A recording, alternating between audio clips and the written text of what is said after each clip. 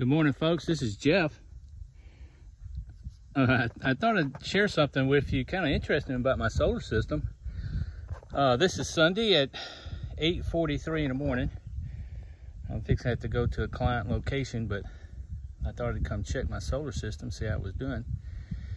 Yesterday was uh, a very stormy day. I say stormy, lots of rain, cloud cover the entire day and the day before, though not rain all day, was mostly cloud cover. So my batteries did not charge up very far, very deep over that two day period. And when I got home last night from helping my son move, was about probably, I don't know, close to 10 o'clock my system had swapped over to the grid. It was a seamless transfer, which is what's supposed to be happening. So I come out this morning, I just thought I'd check it and I got I have to come out here to check it because I can't get my solar assistant to work. Uh, it had worked for a brief period of time, but it no longer works. And I haven't had a lot of time to spend with it. But uh, I come out here, I was kind of pleasantly surprised. You can see I've got fog. I mean, it's 100% cloud cover. There are my panels. And I decided just to come out here and see if they were generating any power at all to uh, maybe put a trickle charge on the batteries. Not enough to do very much good, but I was pleasantly surprised to see I'm actually switched off the grid and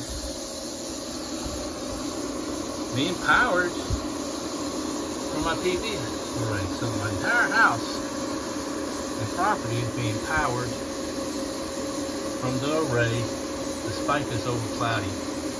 Now this is the only display that is working properly.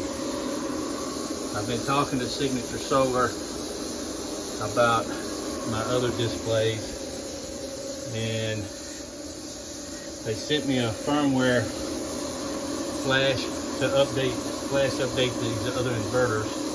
This one has a newer firmware on it. But I'm gonna have to do that next week. But uh, I'm actually charging at about 15 amps into the battery, which these other two, one and three, are probably doing about the same. 15 amps in. This one, I can't tell, but the uh, source circuits of the rays are all right next to each other, so I suspect that's the case. 15 amps, you know, it even at all day, that will not fully charge this battery bank. But the fact that I'm off grid, and I don't know what time it transitioned over, uh, really kind of amazing to me with the clouds like they are. But anyway, I thought I'd share this with you. Uh, this is the way the system is supposed to work. Everything being seamless.